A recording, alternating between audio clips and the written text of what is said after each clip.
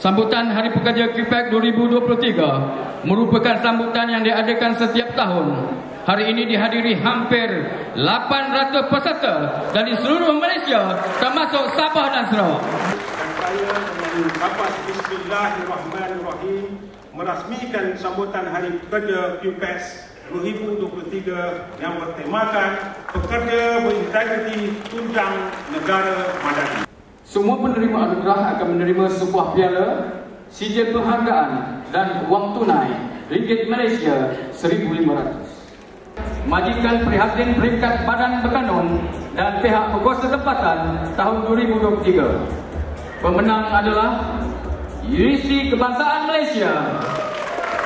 Dipersilakan yang berbahagia Profesor Dato' JSDS Dr. Muhammad Idwan Haji Toriman Naik Chancellor Universiti Kebangsaan Malaysia untuk menerima anugerah.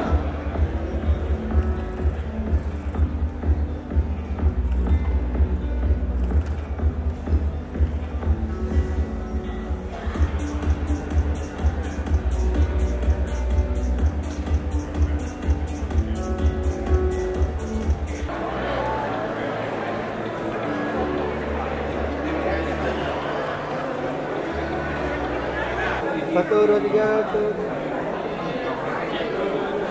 Tiga macam ni, macam ni. Alright.